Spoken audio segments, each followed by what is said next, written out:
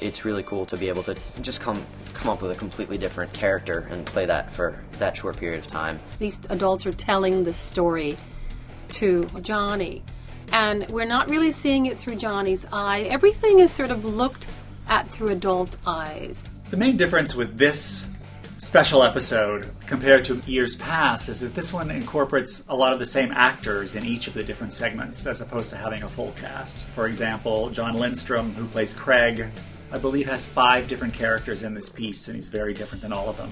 Maura West has three that are very distinctively different. The Cinderfella piece was a lot of fun. My inspiration for Barbara and the sisters was a little combo of the B 52s and Amy Winehouse wanted to give them a little rock edge. It's really about the eyeliner.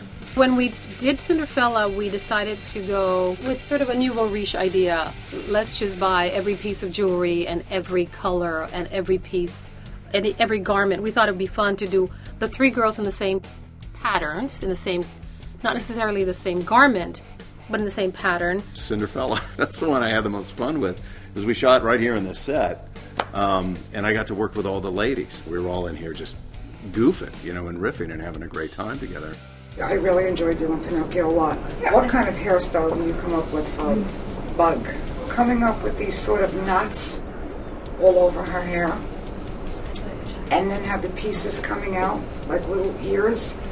By the end of it, when it was complete, she got out of our chair and actually started acting like a cricket. It was great. Um, for Pinocchio, hair was the most intricate part because they actually had the length of my hair pulled up in a little knot so behind my.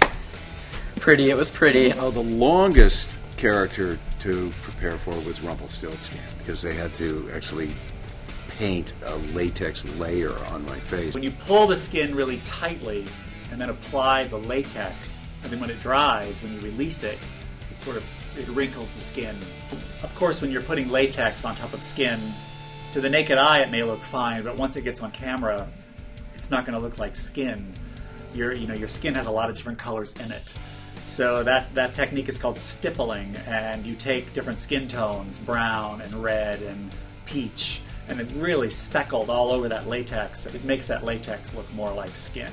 The Wizard of Oz, we took Dorothy and we sort of did her sparkly red, and the guys are sort of rock and rolly ish, and, and we had a lot of fun. We're so lucky to be able to come to work and like do and to really just have fun. I just hope that that people look at it and get the same kind of charge from watching it as we did from making it. The real important part of this piece was to entertain, and I, I really hope everyone enjoys it as much as we did.